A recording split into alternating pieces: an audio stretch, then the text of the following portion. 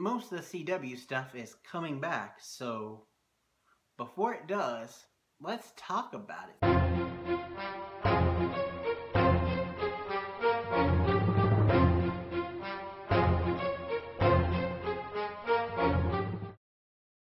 Greetings, Comic Universe. I'm Bryan, and I am back for something new.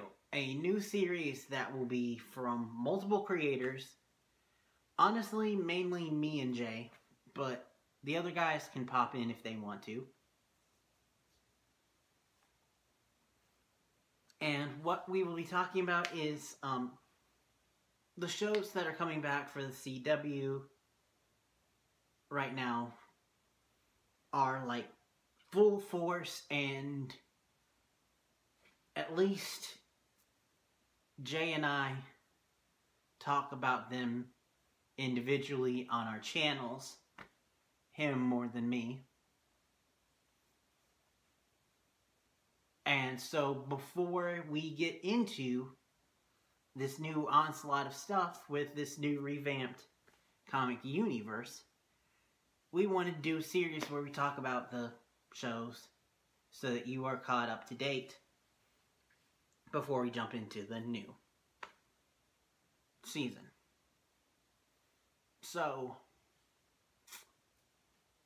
mostly I will be focusing on last season, but let's dive into it. Spoiler alert, if you guys hadn't caught up to Supergirl yet, uh, go do it and then come back and tell us what you think in the comments down below.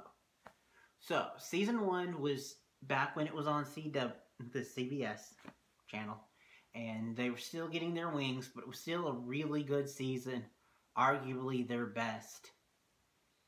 And the overall theme of the season was like beginnings and origin.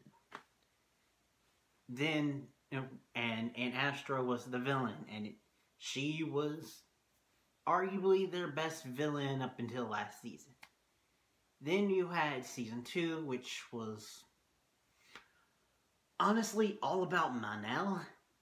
The villain was his mom, played by the lovely Teri Hatcher.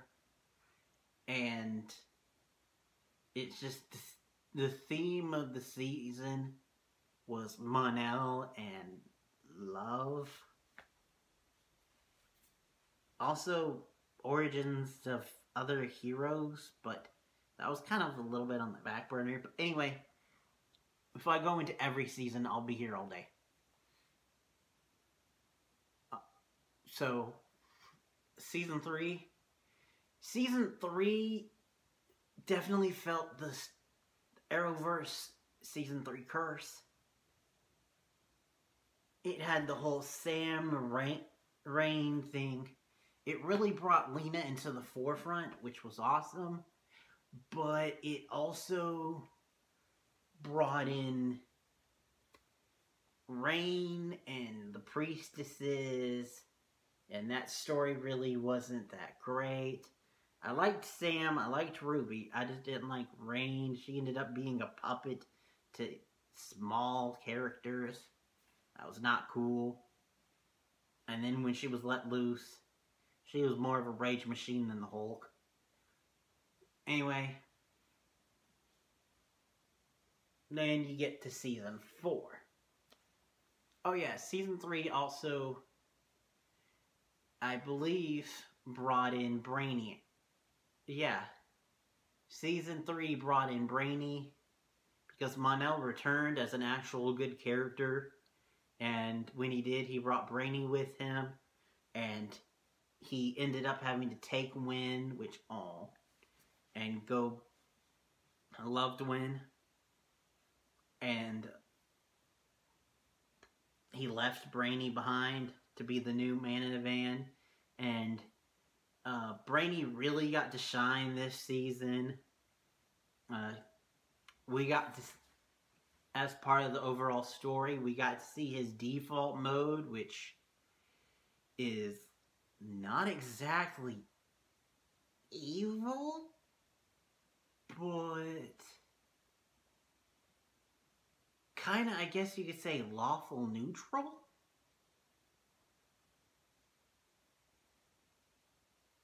He was methodical and would risk people's lives and was not good and makes me hint that they're going to be doing something with OG Brainiac, especially with the fact that Krypton's no longer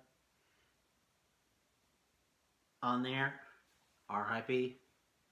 So that was interesting to see, but the main thing with Brainy was Nia, Nia Nal, the first ever live action transgender superhero, and she was freaking awesome. I loved her. She was a nice addition to the show.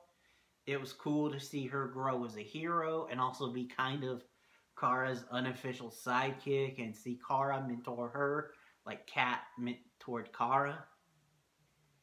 And it was awesome. And Nia is a great character that I cannot wait to see where they go with her. And her romance with Brainy was great. And it'll be nice to see where they go with her from here. The stuff with her mom was really good but sad. Then, last season, you had, um, in case you can't tell, I'm going by characters now because a lot of the characters had developing stuff last season, like um, Alex. Oh, Alex. Alex. Last season, they brought in the whole idea of Alex has become Kara's rock. So, what would you do if you had to separate them? So, they did that and I don't know if it was the best of stories, and it was really heartbreaking to see Kara missing her sister. And then that scene where she finally did remember was gut wrenching. Holy. Can't cuss in this channel, we're monetized. But oh boy. Uh, and to see her finally realize was really awesome, but also the fact that she was separated. We got to see more of her like outside of Supergirl, which made her bond with new character Kelly Olsen, which Kelly was awesome with the little bit that we saw. I can't wait to see where we go with her now that she's a cast member. And honestly, I hate to say this, but I'm more excited for her as a cast member than her brother, which no offense to Mehcad Brooks, I think he's a good actor. And for this version of James Olsen, I think he did a good job. Uh, last season was like the apex of his character where we got to see him versus Ben Lockhart, which I didn't really like Ben Lockhart, but I liked him and James going head to head. That was really cool. And it's a nice way to cap off James' story because he is leaving this season. And it was clear, though, that they really didn't know what to do with James, so I can see why Mehcad wants to leave. Especially now that they've ended that stuff with Lockhart. Lockwood, sorry.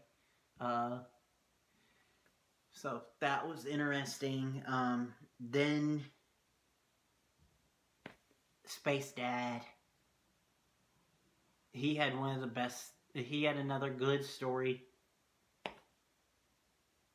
last season with him still getting over his father's death and then having to deal with Manchester Black, which Manchester Black was honestly top three villains with Ad Astra and someone else we will mention soon. Um, but I really liked how they were like, neither side is correct. They're good and evil in both sides. Just like they're not all depending on how you lean you can't think that all democrats are evil or all republicans are evil. I won't go into politics now but just that there is no black and white was a very interesting concept especially tethered with J'onn trying to learn how to control his anger. And the ending to his story was really cool and i can't wait to see where we go with him going further. Uh, then you had um, Lena, and Lena's story was really interesting because her story involved Kara and the the two drawn out of her not knowing Kara's Supergirl, but then pairing that with her brother Lex, who oh boy, in case you didn't know, he's the third of top three villains of Supergirl, in my opinion. Uh, and he's awesome. And to find out that he was secret mastermind behind a lot of things was really cool to find out. And seeing Lena's interactions with him and the fact that she finally got to the end where she was like, you know what, world would be better without you. Bam, kill him. And then he's like, ha ha ha, as my final thing, I will show you. Boom, Kara is Supergirl. So that is going to be heart-wrenching to see going forward, especially because I am admittedly a Supercorp fan. I know it's never going to happen, but still it's going to be heart-wrenching to see it happen. Uh, oh yeah, also Lex created a character named Red Daughter, who was also played by Melissa Benoist.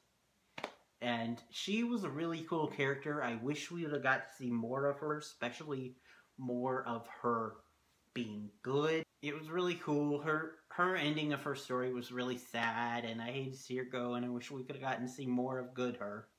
I think I've got everyone except for Kara herself, which last season was more focused on her learning to be more reporter-y and see the power of the press last season was really cool.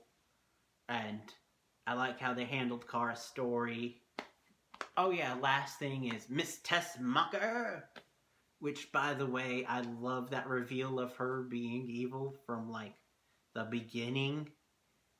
And then also the double reveal in the finale where it's not Lex who's pulling her strings and they're pulling her strings against her will, so there's hope for redemption. I'm really excited for the future. Thank you guys for watching. Hope to see you again in the universe. Till next time, and beyond. Oh. And that's what you missed on Supergirl.